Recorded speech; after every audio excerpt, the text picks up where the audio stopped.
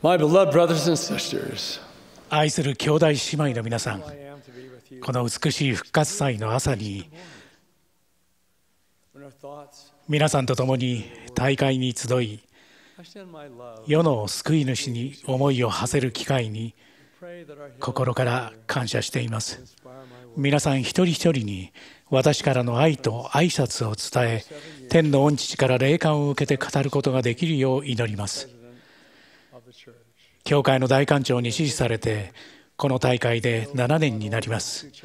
毎年が慌ただしく過ぎ去り、その間、いくつかの試練を経験しましたが、数えきれないほどの祝福も経験しました。そのような祝福の中で最も楽しく神聖だったのは、神殿の封建と再封建の機会に預かったことです。つい最近も昨年の11月ですが、新たに完成した美しいアリゾナ州フェニックス神殿を奉献する特権に恵まれました。ディーター F・ ウークトドルフ管長、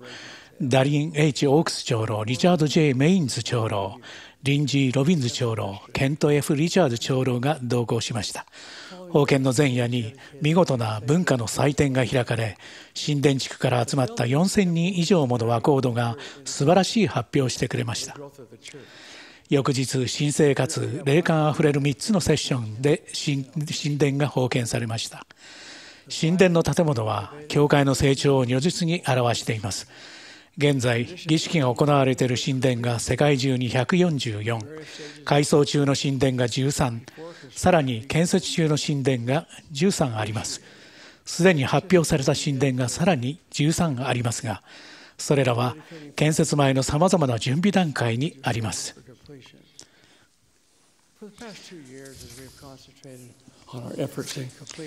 この2年間、すでに建設を発表した神殿の完成に力を注いできたために、追加の神殿建設計画を保留にしてきました。しかし今朝、新たに3つの神殿の建設を発表できることを嬉しく思います。その場所は、コートジボワール・アビシャン、ハイチポール・ポルトープランス、そしてタイのバンコクです。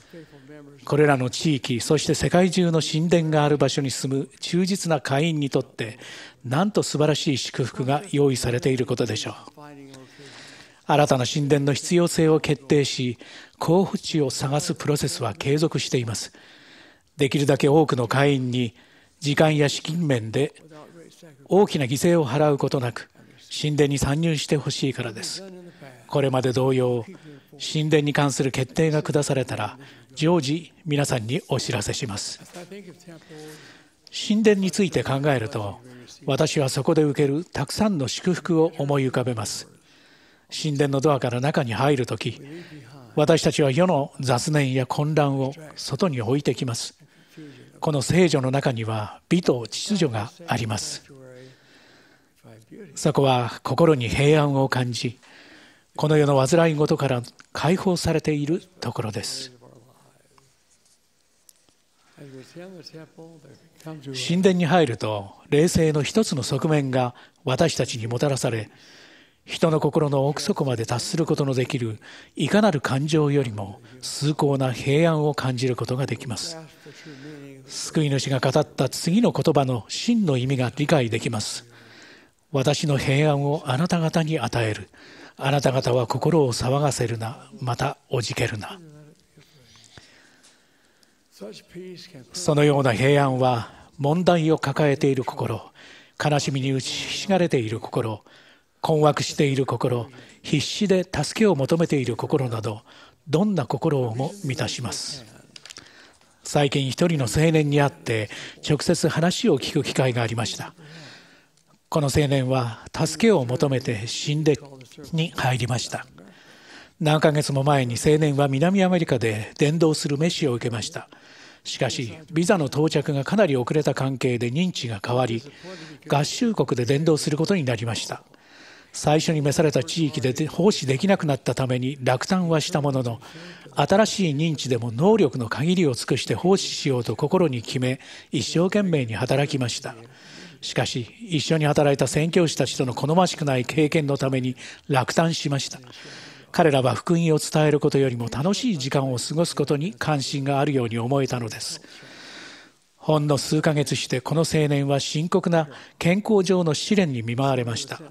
体の一部が麻痺したのです。その結果治療のために自宅へ帰されました。それから数ヶ月後青年は完全に回復し麻痺もなくなりました。もう一度宣教師として奉仕できるという連絡を受けました。その祝福は毎日の祈りに対する答えでした。唯一失望したのは自宅へ返される前と同じ伝道部に戻るという知らせでした。その伝道部で働く一部の宣教師の行動や態度が理想とかけ離れていると感じていたからです。青年は宣教師として良い経験ができるという慰めと確認を求めて神殿へ行きました。彼の両親もその時の神殿訪問によって息子が必要な助けを得られるようにと祈りました。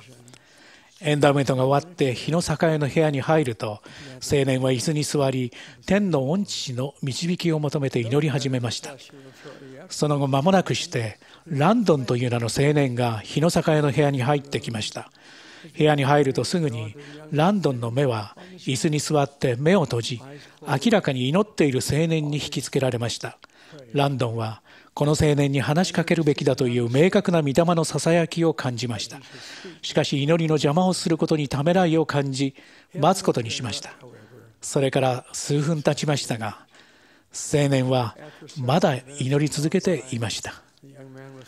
ランドンはもうこれ以上御霊のささやきを後回しにできませんでした。彼は青年に近づき肩にそっと手を触れました。青年は祈りが遮られたことに驚いて目を開けました。ランドンは静かにこう言いました。あなたに話しかける必要があるという気持ちを感じました。理由はよくわからないのですが2人は話し始めました。青年はランドンに心を打ち明けました。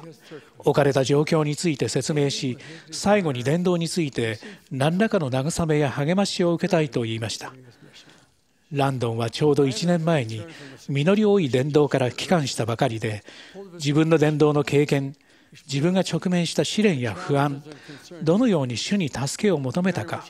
そして自分が受けた祝福について話しました。ランドンの言葉に青年は慰めを得安心感を覚えました。ランドンの伝道に対する情熱には感化力がありました。いつしか青年の恐れは消え去り平安が訪れました。自分の祈りが応えられたことに気づき青年は心から感謝しました。2人の青年は一緒に祈りました。それからランドンは御霊のささやきに耳を傾けてよかったと思いながら帰る準備をしました。ランドンが立ち去ろうとした時青年はこう尋ねました。どこで伝道したのですか？この時点で2人とも自分たちがどの伝道部で奉仕したか互いに話していませんでした。ランドンが自分の伝道部の名前を告げた時青年の目に涙があふれました。ランドンが伝道したのはこれから青年が戻ろうとしていたまさにその伝道部だったのです。私宛ての最近の手紙でランドンは別れる前に青年が語ったことを話してくれました。私は天の御父が私を祝福してくださると信じていました。しかし私の伝道部でかつて奉仕した人を助け手として使わせてくださるとは全く想像していませんでした。今全ては良くなるのだということを私は知っています。御父は誠実な心で捧げられる謙遜な祈りを聞き答えてくださるのです。兄弟姉妹の皆さん人生に誘惑はつきものです。試練や困難困難にには必ず合います。神殿に行く時に神殿で交わす制約を思い起こす時に私たちは誘惑に打ち勝ち試練を耐え忍ぶことができます。神殿で私たちは平安を見出すことができるのです。神殿の祝福はこの上なく貴重なものです。私が自分の人生について毎日感謝している祝福は愛する妻であるフランシスと共に神殿の聖壇の前にひざまずき2人を永遠につなぎ合わせる制約を交わした時に受けた祝福です。私にとって彼女と再び一緒になれるという知識から受ける平安と慰めほど貴重な祝福はありません。天の御父の祝福により私たちが神殿礼拝の御霊を持つことができますように。また私たちの主救い主イエス・キリストの足跡を注意深くたどることができますように。